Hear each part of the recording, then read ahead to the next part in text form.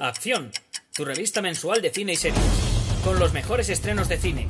fichas y reportajes coleccionables, series de televisión y cuatro pósters todos los meses. Búscala en tu kiosco. Muy buenas, aquí estoy para hablar de eh, Misterio en Venecia, la última, eh, el último encuentro de Kenneth Branagh eh, con el personaje de Hércules Poirot, el detective de Agatha Christie, que, que bueno, cierra o podría cerrar una trilogía, aunque la verdad es que después de ver esta película parece que tiene cuerda para rato. Eh, antes de nada quiero advertir, avisar que esto es un vídeo de la revista Acción. Aquí tenemos a Hércules Poirot, porque lo llevamos en, nuestras páginas del número de este mes. Eh, con póster incluido, uno de los cuatro póster que llevamos, junto con Ahsoka, eh, está Mister en Venecia, Ahsoka, El Continental, la serie derivada de John Wick, y Yo Soy Groot acción, un mensual, acción eh, cine y acción televisión mensual con eh, información que podéis conseguir en el kiosco con bastante bastante eh, bastantes páginas de información de noticias entrevistas opiniones etcétera que además bueno aquí tenemos a Hércules Poirot de otra página que además como digo tiene una clave de coleccionable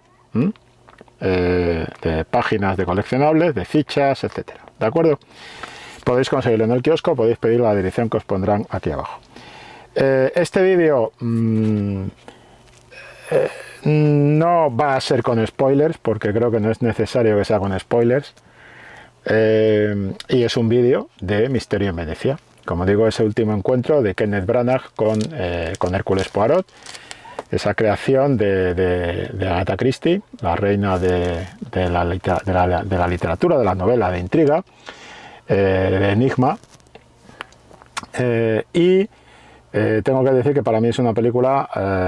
mm, a mí me ha gustado más que las dos anteriores, me ha gustado más que Asesinato en el Oriente Express y Muerte en el Nilo. Me, me parece que Kenneth Branagh le ha pillado muy bien el punto en esta tercera película a lo que quiere y puede hacer con, el personaje de Hércules Poirot. Y una de las cosas que hace es, eh, de alguna manera, liberarlo de la restricción de las novelas originales que adapta y eh, echarlo a volar en un territorio que es eh, no en el suspense, en lo que se refiere a suspense, sigue el mismo código de, relato de intriga, de suspense que en las, que en las películas anteriores, pero aquí Branagh tanto como director como en su función como eh, actor, explora otras posibilidades del personaje y de alguna manera hace un arco más, más interesante precisamente porque se interna en una especie de, yo no sé si, si llamarlo guiño u homenaje a los códigos del género de, más que de terror, de intriga eh, con, con pinceladas de terror. Eh, en una línea tipo, a mí me ha recordado algún, algunos momentos eh, un poco como si fuera un homenaje, un guiño al, casi al giallo italiano. Eh, este, este, este internarse en otro, en otro, vamos a llamarlo género o subgénero, diferente o alternativo al de la típica historia criminal de detective, de intriga, de suspense, estilo Agatha Christie, aunque mantiene los códigos de la fórmula de Agatha Christie, pues creo que le abre al personaje otras posibilidades, pero además creo que al propio eh, Branagh como director le abre una especie de apetito por em, trabajar visualmente la película de una manera más interesante que las dos anteriores. Eh, juega mucho con, desencuadres, juega mucho con la posición que ocupan eh, los, personajes eh, dentro del encuadre. Cuando te hace un plano contra plano va a buscar, digamos, una visión ligeramente diferente de lo que estamos acostumbrados y, y trabaja, por supuesto, juega a su favor el haber elegido Venecia como, como lugar en el que transcurre la acción y le saca muy buen partido visual a Venecia, pero sobre todo me ha gustado la gramática visual que emplea Branagh en esta película, que me parece más rica, más variada, más estimulante, en todo caso, que en las películas anteriores. Que en Muerte en Venecia, perdón, que en Muerte en el, Nilo y, en, eh, y que en, Asesinato en Orient Express. Eh, de hecho, si tuviera que hacer un ranking de las tres películas, eh, la primera sería esta. y después de esta, pues sería Asesinato en Orient Express como la segunda mejor y en último lugar eh, Muerte en el Nilo. Em, y, creo que además necesitaba esta, este ciclo, este arco de películas, necesitaba este salir de lo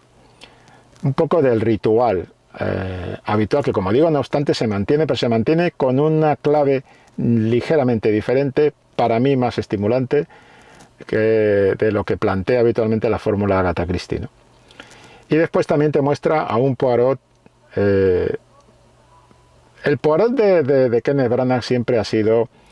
eh, vamos a decirlo claro, vulnerable. No ha sido este personaje excéntrico pero carismático e inevitablemente infalible que nos presentaban otras versiones del personaje en audiovisual o por supuesto también las propias novelas, sino que eh, Branagh siempre le ha dado un aire eh, de vulnerabilidad como actor al personaje. Y como director ha respaldado esa vulnerabilidad de alguna manera en su tratamiento visual del personaje. Pero a mí me gusta mucho cómo Branagh ha, dirigido tres películas de, mm, adaptando o, tomando como material de base eh, obras de Agatha Christie y las tres películas son distintas. Eso hay que reconocérselo a Branagh. En mi opinión, donde pudo pinchar un poco más es, eh, fue en, muerte, en Muerte en el Nilo, pero creo que aquí no ha pinchado en absoluto, creo que aquí, eh, creo que aquí ha clavado de alguna manera una, una buena, eh,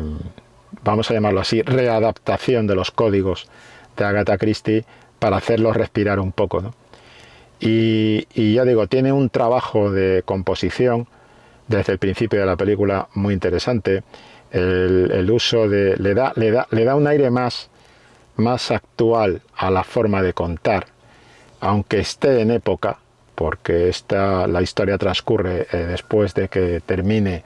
la Segunda Guerra Mundial, en el 47 pero, pero le da ese, ese otro aire, ¿no? ese aire más eh, tenebroso. Mm, y también un punto de, o he creído detectar yo, un punto de, mm, no de parodia, pero sí como de pincelada cómica, ¿no? De pincelada de humor, más que cómica, cómica no, pero pincelada de humor que, de alguna manera eh, intenta acercar o mostrar la vulnerabilidad de los códigos de este tipo de relato, de intriga, de suspense, la vulnerabilidad, las vulnerabilidades de corte narrativo. Em, sus tópicos, sus, sus, sus, claves repetidas, eh, sus eh, rituales, sus rutinas. Eh, creo que los aborda con respeto, pero mm, con esa especie de segunda lectura de ligera pincelada de humor sobre ellos. Y al mismo tiempo eh, como digo, muestra a un, a un, al Poirot más vulnerable de todo su ciclo de películas sobre Poirot. Eh, vulnerable en el sentido de que es un Poirot que de alguna manera ha decidido retirarse, ha decidido mm, salir del, circuito de las investigaciones, de los casos, de las intrigas. Eh, evidentemente no hay película y no hay historia si esa, esa decisión no se rompe de alguna manera, pero es un Poirot que está, eh, que de alguna manera eh, hace un viaje en esta película de,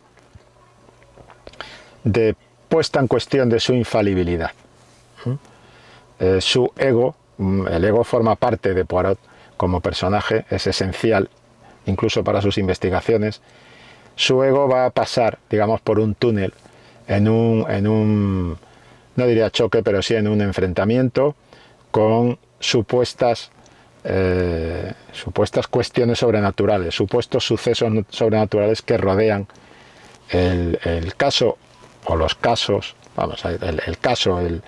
el, caso que está investigando ¿no? en, en, este caso, en esta película, con, eh, con un digamos que con una también aproximación a todo el tema de las mediums, de los mediums, de la, de la gente que dice contactar con espíritus, eh, lo cual también es un poco un retrato también de época la película. Eh, y en ese entorno del medium, de, las, de, las, de los ceremoniales de, contacto con los espíritus y demás, digamos que eh, Poirot es puesto a prueba y, y Branagh se nota en su despliegue visual, en su trabajo eh, como director y en la propuesta visual que nos hace, en la propuesta de lenguaje, se nota que está disfrutando mucho con esa, con esa libertad de no tener que seguir exactamente al pie de la letra, eh, pues por ejemplo una, novela eh, icónica eh, de, la, de, la, colección de Agatha Christie, como puede ser por ejemplo Asesinato en Oriente Express. No sé, yo he visto a, a, liberado de esas ataduras y más fluido, con mejor ritmo en el relato, con, con mayor, con mayor mm, eh, inclinación a, disfrutar y hacernos disfrutar con las propias, los propios entresijos de la intriga y eh, combinando eh, posibilidades visuales, combinando, mm, digamos, haciendo que la, historia, aunque siga un recorrido del corte habitual en, las, en, los, en los casos de Poirot, en las novelas de intriga de Agatha Christie, a pesar de eso, pues me, ha parecido más entretenida. Eh, creo que introduce claves que en las otras películas pues estaban más pegadas a los originales y, suscitaban menos, menos, no diría, bueno, sí lo llamarías sorpresa, ¿no? menos eh, capacidad de ver mm, algo, algo diferente en adaptaciones de Agatha Christie de lo que, de lo que suele ser habitual. Y creo que esa es la gran baza de la película. Eh, en las otras tenía eh, a lo mejor repartos que, eh, también a nivel de estrella adquirían una especie de relevancia desde el estrellato, poniéndose el estrellato por encima de los propios personajes, como ocurría también en las, películas protagonizadas de Poirot, protagonizadas por Peter Ustinov en los años 70 y 80, y como ocurría también, más bien 80, y, y como ocurría también en la primera versión repleta de estrellas que se rodó de el, del asesinato en el, Oriente Express eh, en los años 70. Se estrenó en los años 70. En este caso, digamos que mm, teniendo actores, teniendo buenos actores, eh, hay como un, menor nivel de estrellato devorando al personaje. Y creo que eso le sienta muy bien a la película, porque el personaje queda eh, de alguna manera más, eh, más defendido, más íntegro frente a lo que puede ser muchas veces el rodillo de la estrella. el ejemplo es claro, tú pones a, a Gal Gadot interpretando eh, el papel que interpretaba en, Muerte en el Nilo y evidentemente mm, es inevitable que se devore un poco al personaje, ¿no? lo cual afecta de alguna forma también a la historia, a la película. Pero en este caso no, creo que en este caso está todo más equilibrado y también es cierto que también hay un mayor estrellato, eso sí, mayor despliegue de protagonismo de Poirot, que es más epicentro de todo y que hay momentos, hay un momento concreto, y esto no es un spoiler, porque no voy a decir cuándo, ni cómo, ni por qué, pero hay un momento concreto en que Poirot aparece con una máscara y se pone una máscara. Y hay un momento en que se levanta esa máscara y compone un gesto de un Poirot muy humano, de un Poirot ya más maduro, más golpeado por la vida, pero de un Poirot que se nos resulta entrañable. Y creo que ese descubrimiento de lo entrañable en Poirot en esta película es uno de los, eh, de los aciertos de Kenneth Branagh a la hora de tanto de interpretar el personaje como de crear ese personaje desde la dirección. Eh, un Poirot entrañable, que es un Poirot vulnerable y un, y un Poirot que, que por lo menos nos propone eh, pues casi esa pincelada, ¿no? como de, ligera autoparodia del personaje que incorpora eh, Branagh en esta, en esta película, sin que sea una comedia en absoluto y con todo el respeto por el personaje. Un personaje con el que además creo que en esta película se demuestra que ha, eh, trabado vínculos de, de, afecto. El propio, el propio director y actor ha trabado vínculos de afecto más sólidos de los que pudiera tener en las dos películas anteriores con el propio, con el propio personaje de Poirot.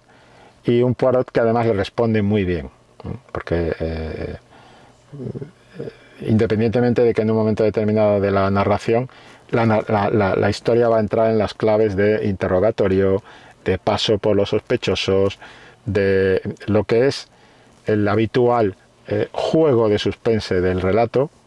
pero cuando eso ocurre, con el envoltorio visual que tiene, con la presentación visual que hace, que hace Branagh como director y con este Poirot más humanizado y más, para mí, más sólido, más interesante como personaje, desde esa, desde esa eh, vulnerabilidad, desde esa inseguridad, eh, por contra con ese ego que, que, manifiesta habitualmente, que ya se insinuaba, ya quiso insinuarla eh, Branagh en la película anterior, en Muerte en el Nilo, sobre todo en la parte final, en el tercer acto de Muerte en el Nilo, ya quiso insinuar esa vulnerabilidad. Y ya le, dio, le dio claves a esa vulnerabilidad eh, con su pasado en, Muerte en el Nilo. Pues creo que aquí pues va un paso más adelante y además intenta buscar, como digo, esa alternativa de, sí, esto es un misterio de Agatha Christie, sí, esto es un misterio con Hércules Poirot, pero vamos a hacerlo de otra forma, vamos a presentarlo de otra forma. Y, creo que le saca mucho partido, por ejemplo, al plano, los juegos que hace con el plano, el montaje, el, combinar el juego de teatro de sombras eh, con, en, una parte para contar esa historia, cómo eh, está haciendo, un, como decía, una especie de guiño o homenaje al cine de intriga barra terror eh, del Yalo, por ejemplo, y cómo pues hay sus, sus, golpes de efecto perfectamente calculados para entrar en esa fórmula de homenaje, guiño y tal al género, al género este, que yo diría que, se no se inventa, se saca un poco una variante ¿no? de, su propio, de su propio bolsillo creativo. Eh, Branagh se saca una variante, una especie de punto intermedio muy curioso entre esos dos mundos, ¿no? del relato de intriga, de, asesinato en cuarto cerrado, de crimen en cuarto cerrado, de sudoku, de intriga que hay que resolver, y ese efectismo del terror al que Branagh trata con mucha elegancia visualmente. Y me parece que esto hace pues un buen encuentro, un buen reencuentro con Hércules Poirot, que como digo me parece que supera a mí me ha gustado más que las dos, que las dos películas anteriores de Branagh en el personaje y dirigiendo también el personaje. Y es muy bueno, creo que le ha sentado bien al ciclo, a la trilogía, que haya sido siempre el mismo director y se haya mantenido porque mm, me da la impresión de que si las tres películas son tan distintas es porque precisamente Branagh ha querido explorar en cada una de ellas distintas aproximaciones a esa especie de, de monolito que es Agatha Christie como, como como escritora de novelas de intriga, a la cual también, por cierto, le rinde cierto guiño en uno de los personajes claves de esta historia, eh, la escritora, y, ahí, sobre todo desde el principio, cuando se encuentran los dos en, una terraza, los dos personajes, Poirot y la escritora, eh, digamos que hay una, relación muy curiosa entre los dos personajes en la que Branagh ha querido explorar también de alguna manera desde la fantasía, desde la ficción, ese posible encuentro entre la creadora y su creación. Y lo hace de una manera muy madura y muy desmitificadora, creo que la clave de desmitificación es una de las que impera a la hora de abordar esta película respecto a las películas anteriores. Pero eh, tampoco quiero confundir, es un suspense eh, íntegro, perfecto y completo en la línea Agatha Christie. Y lo que ocurre es que para mí está mucho mejor y mucho más interesante, mucho más variado y mucho mejor servido. Bueno, hasta que llego, nos vemos en otra. Hasta luego. Acción, tu revista mensual de cine y series. Con los mejores estrenos de cine, fichas y reportajes coleccionables, series de televisión y cuatro pósters todos los meses. Búscala en tu kiosco.